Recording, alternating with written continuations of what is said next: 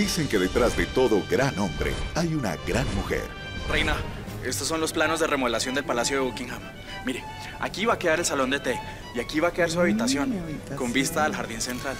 Eso sí, el carpintero me dijo que si no hacíamos un adelanto del 50%, nos entregan 30 días. ¿30? ¡Hábiles! Pero en esta historia, esto está a punto de cambiar.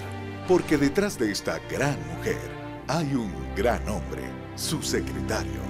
Conozcan a Emilio, que viajó a Nueva York para buscar fortuna. Pero regresará a su país para recuperar el tiempo perdido.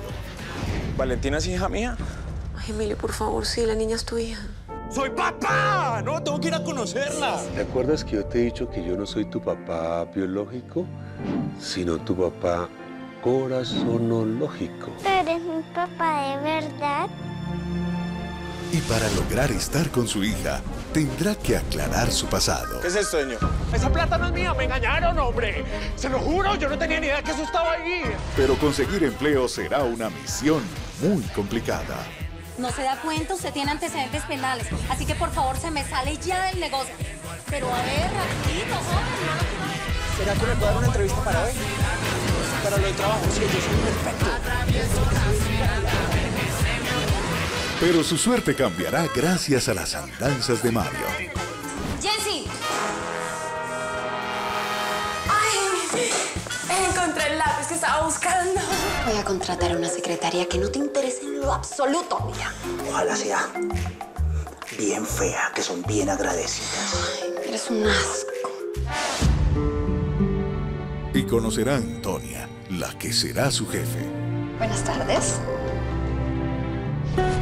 La mujer de sus sueños.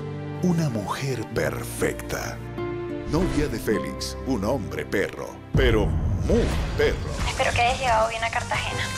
Yo te cuento que hoy tuve un día un poco extraño, la verdad. Imagínate que a partir de mañana no tengo secretaria, sino secretario. Pero si Emilio creyó alcanzar el cielo, Usted siempre salvándome la vida. verá que ser secretario no es nada fácil. Eh, no puede pasar. ¿Sabes quién carajo soy yo? Lo que pasa es que yo me imaginé al doctor Félix pues mucho más feo, más calvo, más barrigón. ¿Se imagina? Pues porque uno siempre se lo imagina. ¿De qué quedó? Em, de... de... eh, secretario del área comercial. En nombre del departamento administrativo, Queremos hacerte un detalle muy sencillo, pero muy bonito, muy sentido. Una lima. Señorita, Gracias, ¿ah? Gracias. ya. y por favor, afeítese y venga bien depilada y dos pares de medias, porque una nunca sabe en qué momento se le puede ir a uno un punto. Ya nada más, sí, párenla. Porque realmente el trabajito no está tan mal. El trabajito tiene su... su... ¡Encanto! ¿Es que usted no me escuchó o qué? He tenido secretarias viejas, feas y parchudas. ¿Y usted? Porque un hombre de secretaria me parece una abominación.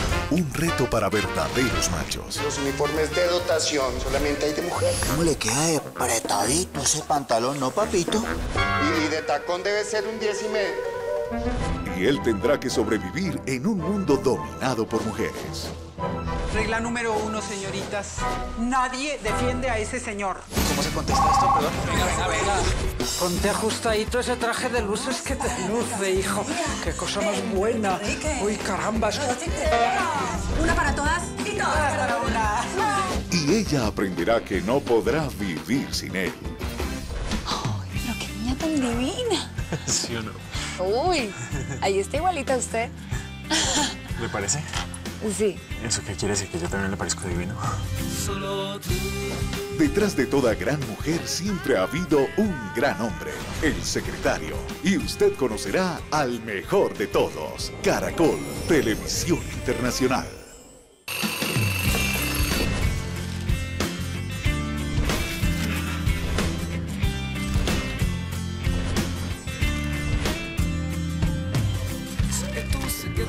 Mi mente, como luz amaneces primero. Todo es, todo es diferente. Y mi viaje contigo es ligero. Yo por ti sé que vi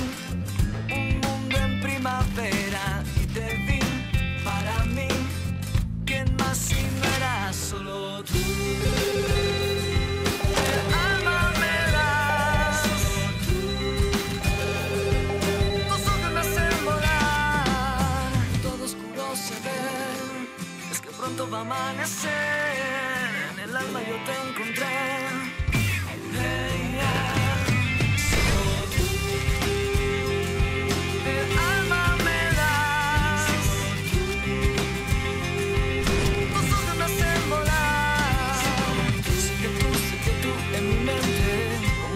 Amaneces brillando.